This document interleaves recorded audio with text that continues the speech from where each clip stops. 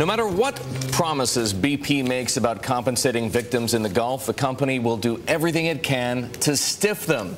So says the lawyer who handled claims in the last great American oil disaster. Brian O'Neill represented 32,000 Alaskan fishermen and natives in the Exxon Valdez case. He says he spent two decades fighting Exxon and that his clients received only a quarter of what they were due. Brian is a partner at Faegre and Benson. He's with us this morning from Minneapolis. Brian, good morning. There are a lot of people affected by this spill, people in the fishing industry, people in the tourism industry, people in the oil industry. Just how pessimistic should they be about recovering the income they have already lost and stand to lose because of this spill? Well, I don't think any of them are going to be fully paid. And to get any substantial recoveries is going to take 10 or 15 or 20 years. Uh, so I think they're in for the long haul. Now, Brian, you say that Exxon uh, pursued all kinds of nasty tactics in its effort to try and deny more money to your clients. Are you seeing any evidence yet that BP is following Exxon's playbook? Well, uh, yes. Early on, BP claims adjusters attempted to get uh, fishermen to sign legal rights waivers in return for relatively modest payments. Uh, and that's a sharp practice, and they should have never done it.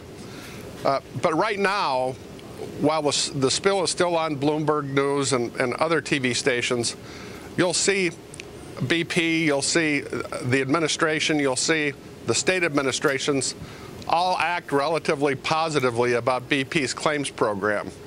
But let's wait until the fall or the middle of the winter when this is no longer on the front page of the newspaper and see what happens. Okay, so what uh, other kinds of tactics, sorry, Brian, is BP likely to employ in the future when it's no longer on the front page? How nasty is it going to get? Well, they're not going to pay. Or if they pay, they're going to pay little, if anything. Uh, they'll force people to bring suit against BP, and BP, like Exxon, has the best lawyers in the world. Uh, and once you get into the court system, it's going to go on and on and on. Brian, does it help at all for the residents of the Gulf victimized by this spill that this has become a defining issue of the Obama presidency? Uh, you know, can you not count perhaps on the White House to keep this issue on the front page and make sure that his legacy isn't tarred by a denial of claims like the one you anticipate? I don't think that's going to happen. And the reason I don't think it's going to happen is that oil is a lot more important to the world economy than shrimp is or, or vacations are. And I think after this uh, initial uh, excitement that the administration is going to come to the conclusion, as all administrations have come to the conclusion, that oil is what makes the world go. It, you know, it's okay to have an occasional series of bank failures, but oil is more important than banks. Oil is the real deal. And for that reason, I think in the end, the administration and the state administrations and uh, the, the criminal prosecutors will all treat BP with kid gloves. Brian, you're probably the most qualified attorney anywhere to work on this case. Are you going to get involved? It sounds like uh, there's an element of disgust uh, with the way that Exxon handled the Exxon Valdez case. Would you consider doing BP, at least the case against BP, pro bono even? I'm thinking about whether I'm going to get involved or not. It's awfully difficult to work on one case for 21 years.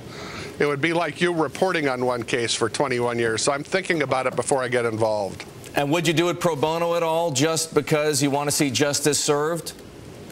Well, it's awfully hard to do a case like that for 21 years pro bono. But I'll tell you, with regard to the Valdez case, we weren't paid for 19 years. Uh, that's a long time to live on credit cards. Indeed it is. Brian, thanks for joining us. Brian O'Neill, a partner at Faegre and Benson on what he expects uh, as far as claims go to the victims of the BP spill.